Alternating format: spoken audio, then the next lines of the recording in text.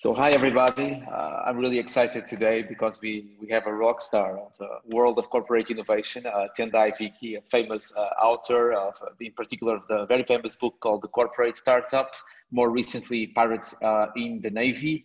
Uh, so I guess this is going to be really, really, really, really good uh, because it, not not just because we have with Tendayi here, but because we have so many people today that this is this is going to be a very different and special uh, session. So maybe over to you, Tendayi, a bit of introduction about yourself. I know you are already famous, but uh, a few words might be uh, helpful for the, those few that still don't know you. All right, and thank you all for coming here today. It's Wednesday. Probably you guys probably should be doing something different, but you you you rather be here uh, in Innovation Cafe. So thank you all, and over to you, Tendayi. Thanks. Yeah, no, thank you for having me. Uh, I'm just going to share my screen just to make sure that everybody can see me. And then I'm gonna make it gallery so I can see everybody on my other screen. All right, cool. So yeah, I mean, I'm not famous. You would have to convince my children that I'm famous. And, also Alex Osterwalder's children who asked if he's famous, why isn't he on Spotify? So, so, so yeah, it's, uh, it's a very interesting conversation. So my name is Tendayi Viki. I'm actually originally born and raised in Zimbabwe. So uh, I'm of African origin. I went to university in Zimbabwe. And then I came to the UK to do like a PhD in psychology because I had a scholarship to do that. So taught psychology there, organizational behavior for a few years. I thought I was going to have a career as an academic. And then I got a fellowship to go to Stanford. That's like the pinnacle of being an academic, right? Going to Stanford. But actually, what it did is it ruined my academic career because it got me more interested in innovation and technology and startups. And so actually, I ended up leaving that career as an academic and starting to do th- this kind of work. And so, you know, started working with large companies, helping them design their innovation ecosystems. Really, the reason why they let me come in is because I was the only guy who kind of understood lean startup, but also had like a PhD and an MBA. so they're like, yeah, we can talk to that guy. And so, and so they let me like start off. And so we were like testing all these ways of how to apply startup methodologies to, to large organizations. And then me and Dan, who you had last week, we wrote the book, the, the corporate startup. And that was like the real like launch point that then really gave me the career that I have right now. And so that's where, that's kind of my beginning. And so, so through all the work that I've done, I have kind of noticed anti-patterns, right, that kind of happen out out in the world. And one of the things that became much more interesting in me is, you know, when you're telling stories, there's always the protagonist and the antagonist, whatever, right? So the in the innovation story, the hero is the entrepreneur, it's the guy trying to create innovations, right? And the enemy or the antagonist is the organization, the company, the, the, the, the, the, the, MBAs that don't know what they're doing, the leaders that don't understand innovation. And, and that story has been set up in that way, and we constantly tell that story that way. But what I started to notice when I was working inside large organizations was that actually the entrepreneur is the antagonist, right? Like they are constantly and consistently getting in their own way.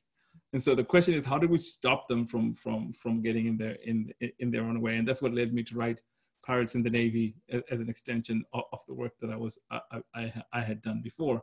And so that's why I, I took it the uh, you know call it the uh, the authentic intrapreneur. I, I like John Stapleton's um, avatar. Can you see that? It says John Stapleton, the authentic intrapreneur. You see that? Thank you, Tendayi. Thank you for noticing that. we must hook up later. exactly. So, so that's really cool. So one of the things that happens out in the world is that we celebrate sorry let me i need to hide that. We celebrate entrepreneurs a lot. Entrepreneurs are heroes right now right? We love their stories. We love exactly all the things that make them successful. Like we love entrepreneurs. Entrepreneurs are are like the thing to aspire to be.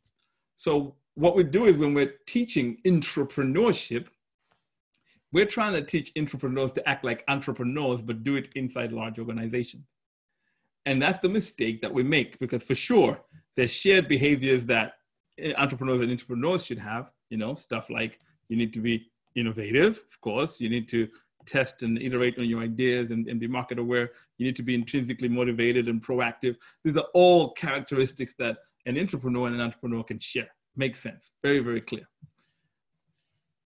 But there's other things that entrepreneurs have that intrapreneurs should not have, like ego, vanity, brashness, rudeness, all these other things, right? That kind of come with this personality of being inventive and creative. And so instead, what the what we should be teaching intrapreneurs is that you're not Elon Musk, like you're not an, an, entrepreneur. You're working inside a large organization and some of the characteristics that you need to have are actually things that an entrepreneur can never do, which is why they work for themselves.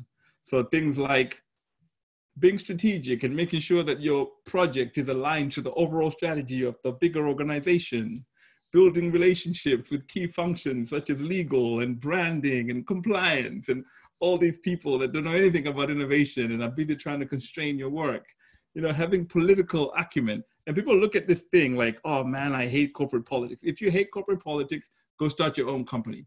Because the moment that you're working inside a large company, the superpower of the intrapreneur, the superpower, the thing that makes a, a, person a serial intrapreneur, somebody who's consistently able to innovate inside organizations, is political acumen. That is the superpower of, of the intrapreneur. They need all the other things. They need to be able to come up with new ideas, test those ideas, iterate, etc., etc. But if they cannot build relationships inside a large organization, there's no there's no re- there's no reason to even think that you're going to be successful.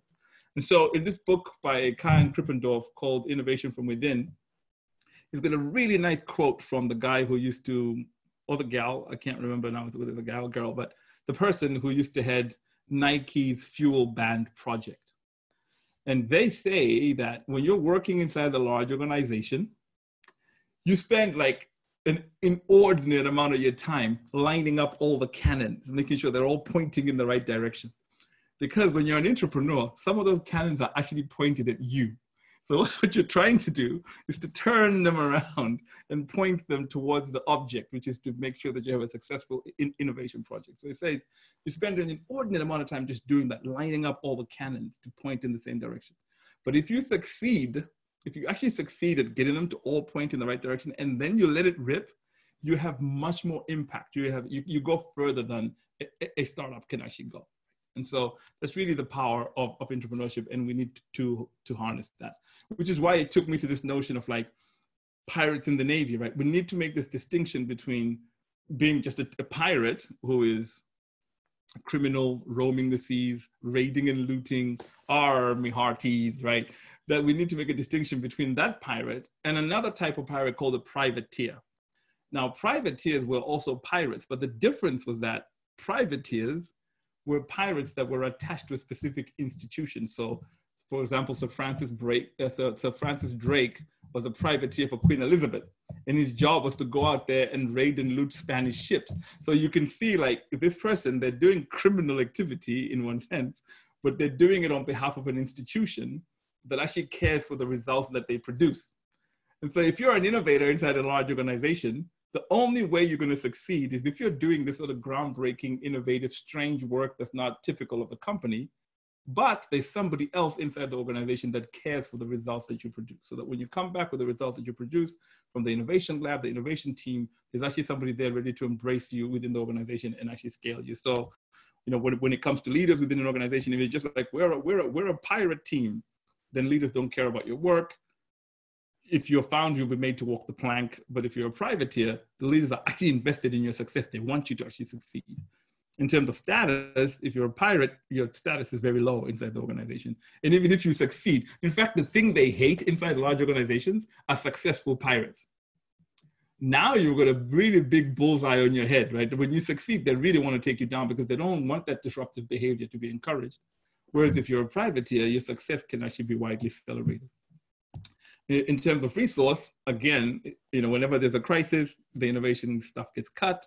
But if you're a privateer, because you're actually connected to the organization, you're creating value, your resources are consistent and probably sometimes are likely to be increased. And then in terms of projects, if your projects are discovered when you're a pirate, they will be killed. But if you are a, a privateer, your projects are likely to be taken to scale if they're, if, if they're viable. And so this is the distinction that I'd like us to make, which is, and a corporate innovator is here to the extent that they can accomplish these things, they're much more likely to actually create things, thing, thing, things that, that scale. So two things to, just to think about quickly, and then we can move to, to Q&A. The first thing you want to do if, you, if you're an intrapreneur and you're working in, in, inside, large, in, inside the large organization is to lose the act. One of the things that I've also found is inauthentic about intrapreneurs is intrapreneurs actually think they're doing innovation when they're not. And so here's a fundamental definition of innovation take it away use it wherever you are when you're working in a company we say that you've succeeded as an innovator to the extent that you've created something put it out into the world and it's creating value for customers and also bringing value back into the organization that you work for until that has happened you haven't innovated i'm going to repeat that again because it's a it's a passion of mine this particular point you're not an innovator. Have you ever heard that saying that says, if a tree falls in the forest and nobody's there to hear it, does it make us that right? Does it make a sound? This is the same thing. If you're an innovator, but all the stuff you work on never gets to market, nobody buys it, uses it, or changes it, are you really an innovator? Right. So your fundamental job as an innovator is to figure out a way for the things that you're working on that they cross the threshold into customers' hands and then once they get into customers' hands, they come back around and bring value back. Before that, so then all the other stuff we do, hackathons, sticky notes, da, da, da, da, all this stuff, if it's not pointed towards that goal, it's waste. Right? And so that's what we mean when we say lose the act.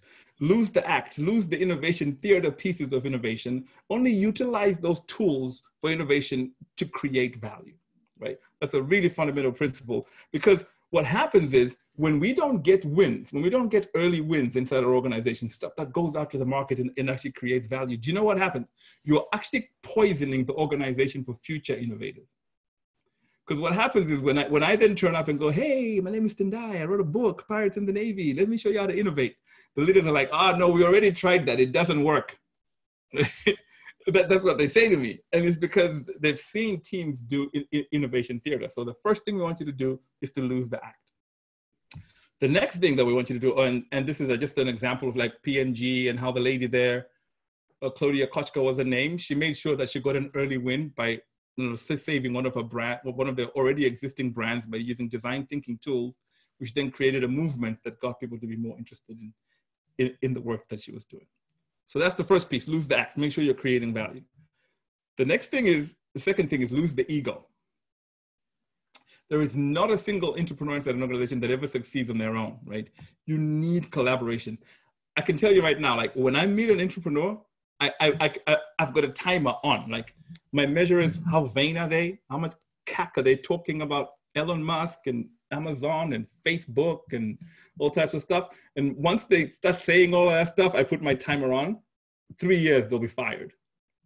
I, I just know that. Like I can always tell how quickly an intrapreneur will flame out by how they carry themselves and conduct themselves inside the organization that, that they actually work. And so we, we need to lose the act. We need to be able to collaborate with key functions. My favorite key function is legal and compliance. If I can get those guys to work with innovation teams, we're winning. My other favorite key function is finance. If I can get finance to sign up to incremental bets and funding, we're winning.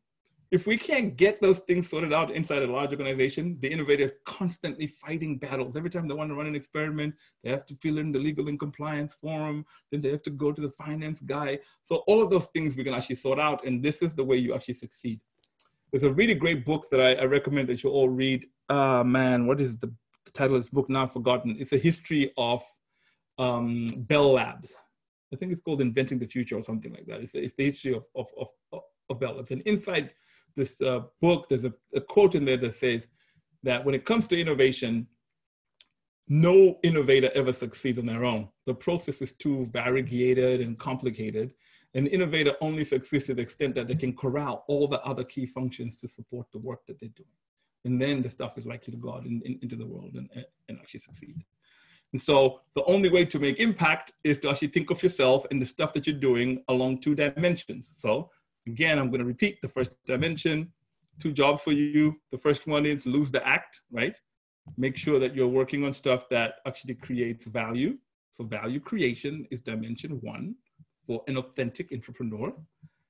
Then the second dimension is lose the ego, right? Make sure that you're working on projects or, or tools and techniques that allow you to create a cultural change inside your organization in order to make innovation a repeatable process. Right? Because, again, innovation is really famous and sexy these days. So we have this phenomenon that I call little fires everywhere. So the first thing that happens is somebody opens an innovation lab. And then in another division, somebody says, mm, we need a skills and learning program to teach innovation. And this skills and learning program has nothing to do with the innovation lab. And then somebody in another division, same company says, mm, we need a corporate venture capital arm. So they open their corporate venture capital arm. And then somebody says, we need to send our leaders to Silicon Valley. So let's open an innovation outpost. So somebody opens an innovation outpost. And then before you know it, you got little fires everywhere. Dedicated innovation teams, R&D lab, intrapreneur program, startup co-creation, corporate incubator. You got all of these things going on, right? And nobody is thinking about the value these things are creating. And so my job is to walk into organizations and go, okay, you've got all this cool stuff, but let's actually sort of map it against our two by two and see where these things are actually creating value. Like which of these things are value creation and which of these things are actually helping us build an innovation ecosystem that actually works. This map here is just my own analysis. It's not a true reflection of what these things actually do. So don't take this as like, you know, gospel. But I do have a I do have a bee in my bonnet about these two things and how much value they create. But outside of that, I I I um I I, I don't have any problems with, with many of the other things. So this is all stuff that we just need to be thinking about and make sure that we're really really working on. So that's what my work is about, and that's what the book Pirates in the Navy is about. So you can check that out at a bookstore near you, and I'm ready for any questions that you have. So I, I was right first of all. This is why Tendayi is a rock star. Okay, 15 minutes and boom, done a masterclass. now, guys, go read the book and learn something about corporate innovation. Okay. you can't read the book much. in 15 minutes, though. 15 months maybe to learn everything. All right, guys, let's start with the first question. I, who wants to? Who's the brave guy? Hey, this um, is uh oh, oh, we got two of No, us. no, go ahead, go ahead, go ahead. this is Ben Schmuck at uh, at Caterpillar. Uh, Tendayi, I think you know my my previous boss, Ben Hafley.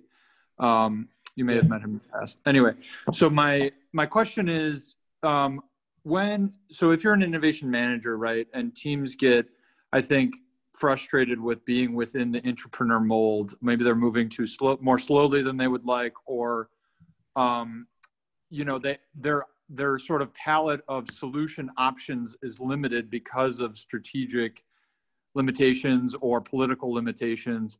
I guess i'm just kind of curious to hear you know how do you navigate that? How do you motivate your teams to to to be motivated within the those constraints? Yeah i mean i mean sustaining your motivation is really really hard right? I mean because you I've been in organizations where it's like I'm coaching the, the team and, I'm, and then I come back two weeks and go, what happened to that experiment that you were going to run? And they go, we're still waiting for compliance to sign it off. So, so that kind of it, that can kind of kill momentum and kill energy and really and really drain the energy. So, I believe that if you're leading a team like that, your job is not just to inspire them and keep them motivated. Your job is to also deliberately engage in activity that removes these roadblocks and creates the enablers, right? So we're not just saying, well, just let's just wait, let's just let's endure. You know, that's not really what we're trying to do with them, right? We're trying to say, great, this thing that you've just done has revealed something about the company. So what are we going to do to make sure that the next team doesn't have to go through the same roadblocks? And so you start building collaborative patterns that allow you to work with legal and compliance to go, listen, let's get together and figure out how our teams can get to run experiments quicker. What are the rules and barriers or boundaries you want to set, you know, set for them so that if, so that if they follow those rules, then they can just run their experiments, right? So those are the conversations that you that, that you really want to have. It's really hard to keep a team motivated if the if the brick wall looks like it's going to stay there forever. Right? I like that. Okay. Thank you. Okay. Um, yeah. Thank you, Tendayi. Uh, I wanted to ask a question, mm. and uh, it's it's more about the culture of, of organization. What do you do when um, an organization culture has been built to repel innovation and disruption.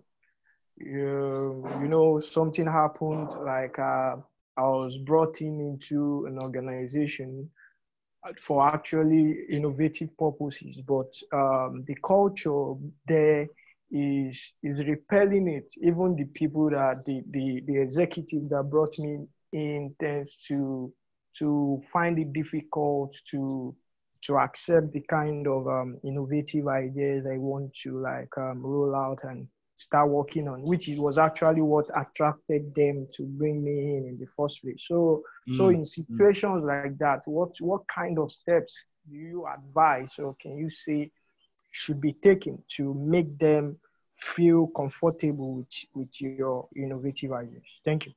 That's cool. So, so even the people that brought you in are, are, are, like fighting you. It's kind of like my ex-wife. Like if I knew you were like this, I wouldn't have married you. So, so, so they they think they want what you've got, and then they don't want it, right? So, so that's funny. Um, so I don't know exactly what you're doing, I, so it's hard for me to critique the way you're doing the work. I don't know exactly how you're building these relationships and exactly what you're trying to do. So I'll give examples of what I typically see happen so let's just take it as a given.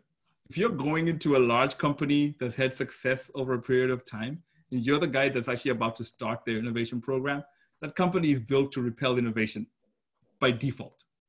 The, right, the people inside the organization are already prepared to fight you by default. Like it's just that's just the way it is.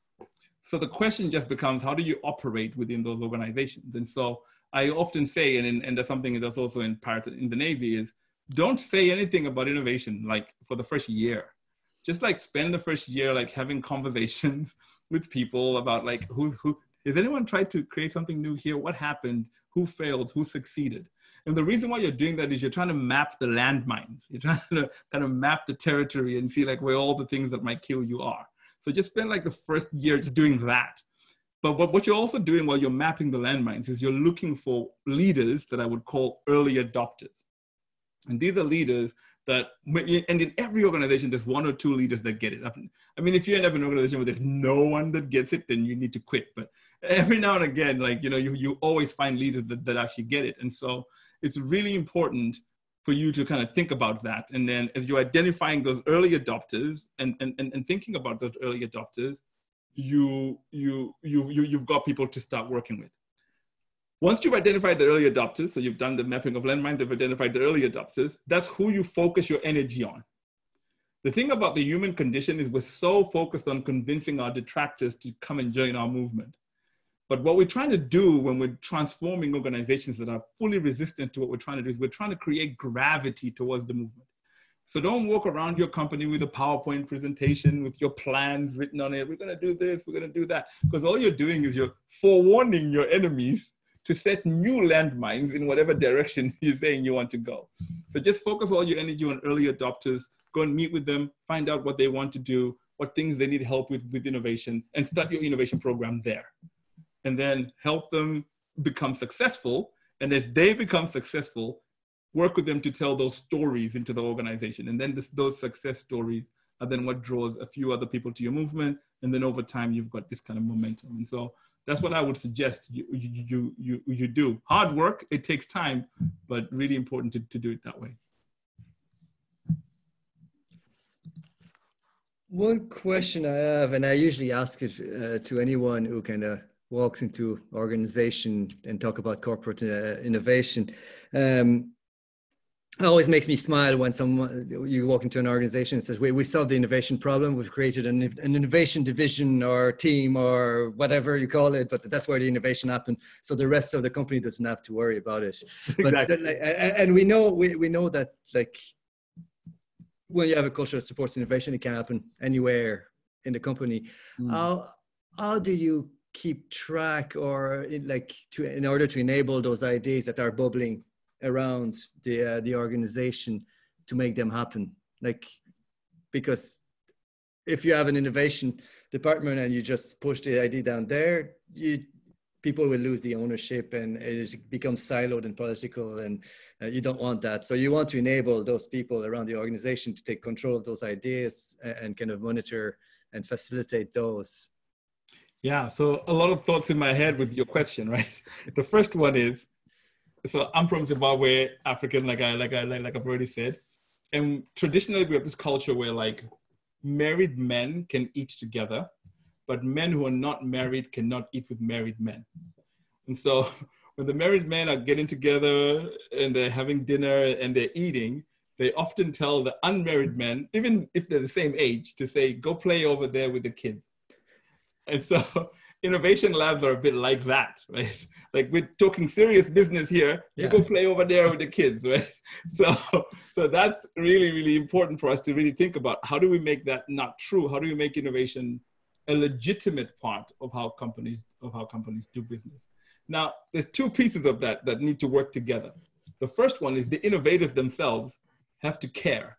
Like if the innovator goes, "Yay, we got a lab, good. Now we can get go, go do our own thing. We don't have to deal with these MBAs." If they celebrate that as a victory, then they're making a huge mistake, right? So that's the first thing is they can't celebrate that uh, uh, as a victory. From where they're sitting, they have to start thinking, how do we build a bridge from our lab to the core business? Which forces them to then reach back out to the mothership and go, can we speak with legal and compliance? Can we speak with branding? Can we speak with finance? Can we speak with uh, heads of divisions to show them the projects we're working on and, and have conversations about them to say, if this becomes successful, would it be something you'd be willing to take to scale? And not only expect those leaders to say, yes, that'll be something I'll be willing to take to scale, but also say, okay, well, then commit two people to join us on the project that will work with us, right? And so all of these things are all bridges that we're actually building to make sure that these things become, you know, successful and sustainable. So that's like response number one. Then the other response that I would give you is how do you make sure the question you asked, how do you make sure ideas that are bubbling throughout the organization get actually worked on? So one way to think about it is to frame those ideas in terms of like the types of innovations they are. So efficiency and sustaining innovations really easy to do within the mothership itself, like right within the mothership itself, using almost similar processes. But once you start thinking about transformative innovation, you want to start figuring out a way, not necessarily a lab, but start figuring out a way to kind of like give it a, a different space where exploration can actually happen and, and, and testing can, can actually happen. And so, well, what we did when we were working in Pearson with Sonja Kresojevic and, and others, we didn't create a lab. Instead, we created an innovation management portfolio management framework, and we called it the lean product lifecycle. And so, what we said was, we said to the organization, when we classify a project as this, these are the tools for managing it. And when we classify a project as this, these are the tools for managing it. And then we, we, we built that toolbox and we let it all be managed within the business at the leadership level, decision making levels that they already had. We didn't create a, a, a, separate function. And that seemed to work, at least for a while. I haven't been there for a while, so I don't know. what, what, so creating a framework basically yes. to, to define the type of yeah. innovation. Yeah. Exactly. Yeah. Uh, I have a question here for um, for obviously Tendayi as well. Um, well, first and foremost, first book that I've that I've read of you was the, the Lean Product Lifecycle, and we're talking right. about corporate innovation. Now, anyone who wants to really have like the full picture of the process, like listen, what a what a great like uh, place to start. So that helped me a lot. Uh, so, I guess the question is: Is innovation overrated in a corporate environment? And let me tell, let me. Mm. Let me to where I'm coming from with this. So I now work with a company that has over 60,000 employees. Before I was in a company that had like over just 150. So we were doing like a lot of experiments and trying experimenting ideas at a very fast pace. And we were and we were able to interlink that that you know these ideas uh, to the business objectives, given the fact that the company you know was a small company and everyone knew each other and uh, the, the, we knew what the vision was and what we wanted to accomplish. So should we should we really uh, hammer down what first again the, the, the framework could be a, a, good example. What are we trying to accomplish in, in, in each of the, the, steps? And now do we measure that against for example a um, what that delivers against like a potential roi and, and growth in revenues and growth in in, in, in customers? Um, again starting for example with an early adopter. And but really first nailing, uh, nailing down the the, fra- the the framework and then move to like this type of new experiments. Uh, but picture that in a corporate uh, level. What, what would you say to that? Would you say that you know people are now like talking about corporate innovation? Is that a bit overrated, and should it be more like you know composed in like a, a new type of uh, approach to take products to market, or um, I don't know. I'm just trying to I'm, I'm, I'm, an, I'm an innovator myself and I had to adapt to this reality. Yeah. I was like, let's do it, let's do it. But as I, as I'm, you know, you know, maturing my, my, my time in like in a big, big company, I tend to realize like, you know, again, politics is important, knowing the division is important and, and finding the best ways to take an idea to a scale that matters to the, the company is also key. So mm-hmm. how do we, how do we, how do we measure that? How do we picture that in a way that makes sense at a corporate level? Yeah, no, that makes sense. So innovation is not overrated, right? Innovation is underrated. What's overrated is innovation theater. Mm, okay. But people overrate the potential value that innovation theater creates. And then they get disappointed when it doesn't create that, that, that value. So if you don't want to engage in innovation theater, the opposite of that is what you've described, which is make sure that you have strategic alignment, make sure that you have a framework for taking things to scale, making sure making sure you're working on ideas and running experiments and and and and and and, and testing those ideas before you actually scale them.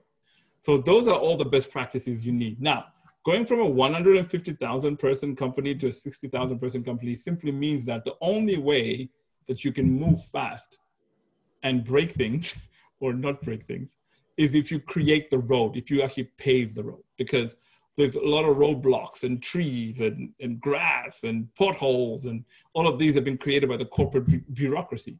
And so what you want to do when you're working inside a large organization is to pave the road for innovators to say, okay, here are all the tools, here are all the processes, here are all the frameworks. When we were working at Pearson, we got sign off from the chief finance officer to say, now when we're working on innovation, we use metered funding. And do you know how the conversation started? It started with a question that finance people hate, which is how much money would you be willing to give an innovation team if the team couldn't give you a projection of how much money they'll give you back in five years?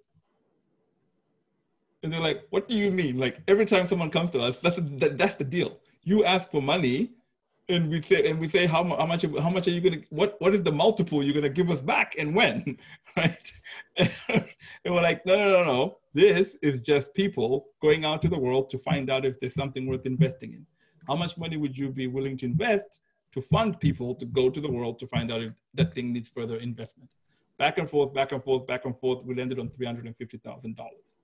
And then it was up to us to decide what to do with the $350,000. And we said, okay, 50,000 for the initial stage, the discovery stage, the explore stage, and then the rest of the 250,000 for the validate stage before you get the bigger sum to go next scale. So that's what we did, right? And then the CFO wrote a, a memo to the organization to say all innovation projects use metered funding. You use this template, you get 50K, you earn your next 250K, right? And those systems got built in. So we've paved the road. Now a team doesn't have to think, oh, I have, I have an idea, what do I do with it? They know exactly what to do with it because it's an official, legitimate process. And that's the hard thing the hard thing about hard things about moving from 150,000 to 60,000 people is in a 60,000 person organization, if it's not a pre-structured process, it doesn't happen. Right? And that's what we're trying to build. Thank you.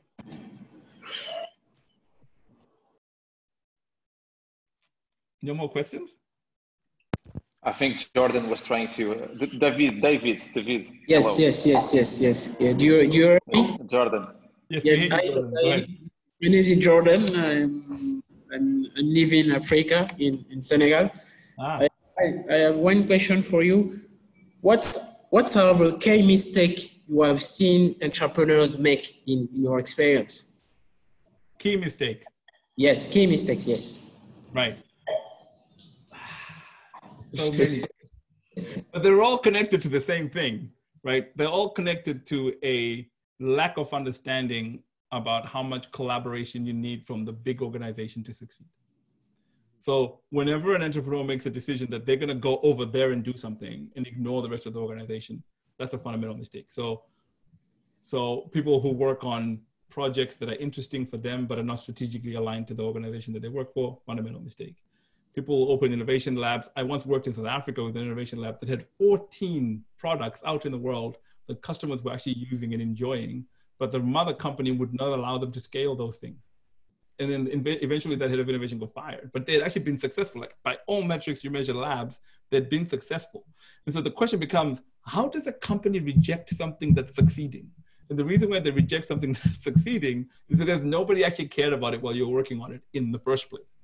And so all of those, this kind of disconnect between who I am and what the company wants or building that alliance. That's the fundamental mistake. And it turns up, it shows up in different ways, but it all kind of speaks to that same, same kind of problem.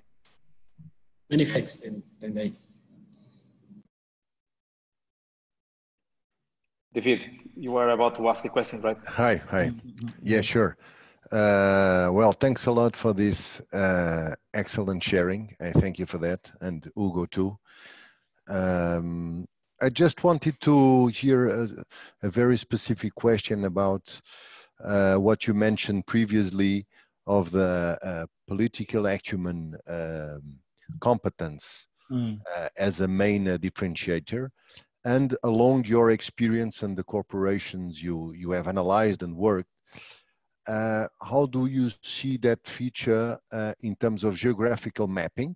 If you notice some correlation or relationship concerning a nationality, uh, uh so a country or a region, mm. and and also uh, regarding the uh, profile of a person, assuming that a company really wants to innovate and is looking for these type of people uh, did you reach uh, um, some type of profile that incorporates that political acumen uh, that would maximize the chances of that person to be successful inside your organization, basically. Mm, mm. So it's two questions. Sorry. Yeah, yeah, no, no, that, no, that makes sense. So the first thing I can say is, I really haven't seen cultural differences yet.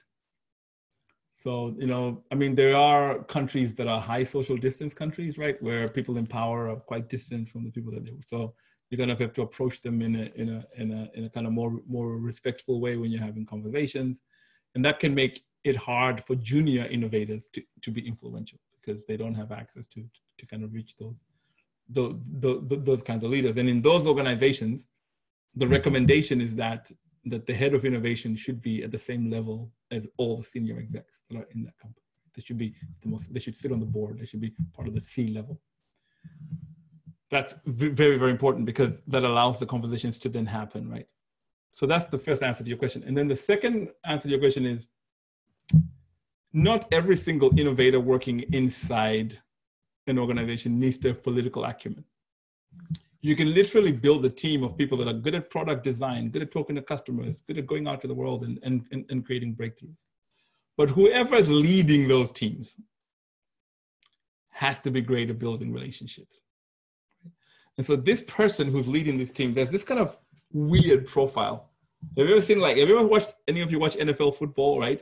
And they've got like these big, big linebacker guys or these big defensive guys, like huge guys that can like you know, but their they their feet are like ballet dancers, like they can move like ballet dancers, but they're huge. And it's like this is kind of mismatch of like that should not that person should not be able to do that, right? And that's what you're really looking for in this profile: somebody who's excited about innovation, entrepreneurial, thinking about breakthrough ideas, hates tradition, wants to come up with more inventive things, right? And and that's their focus.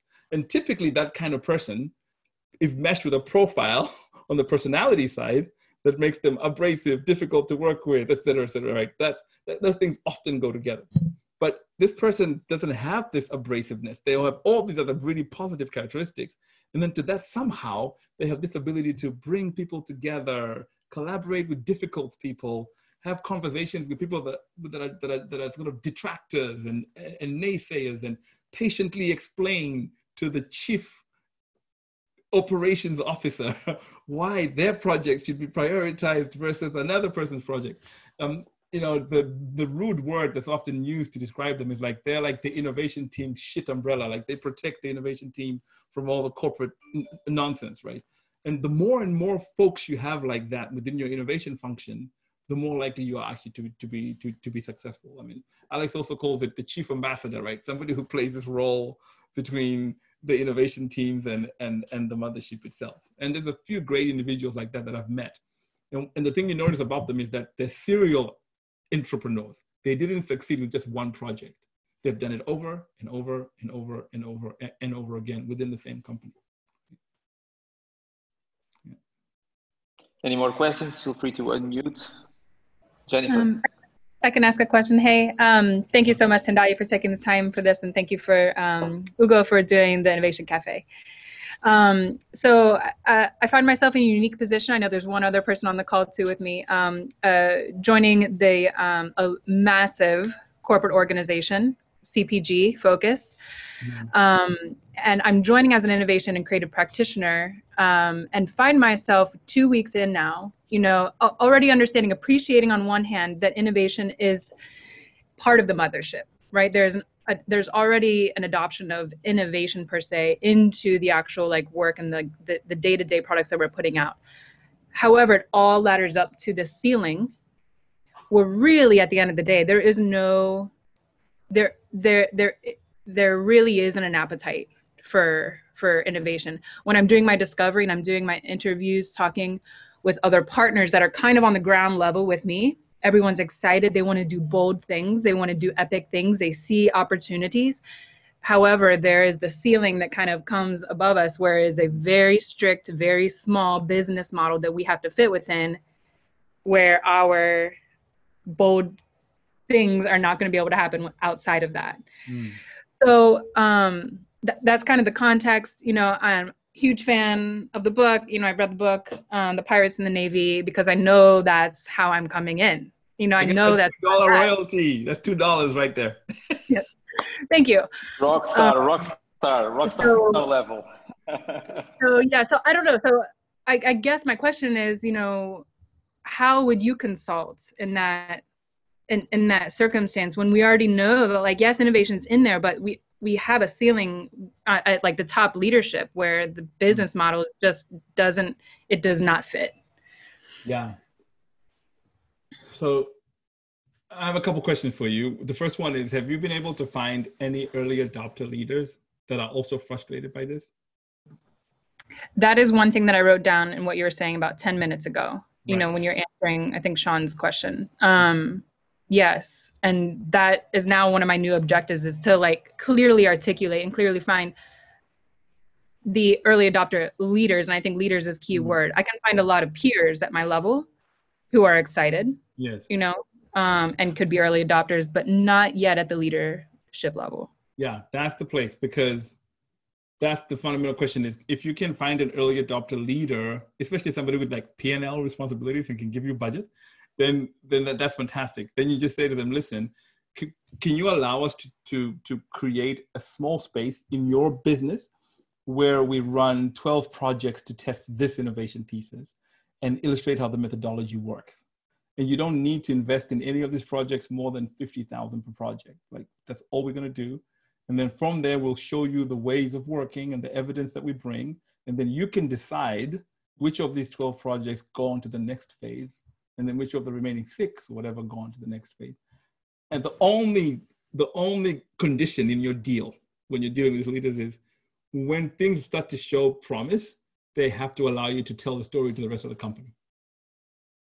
That is the condition. You have to be allowed to share that story. if they don't want you to share the story, then they're not really helpful because you'll be doing this stuff in secret. Nobody knows. When you're done, you'll have the same problem.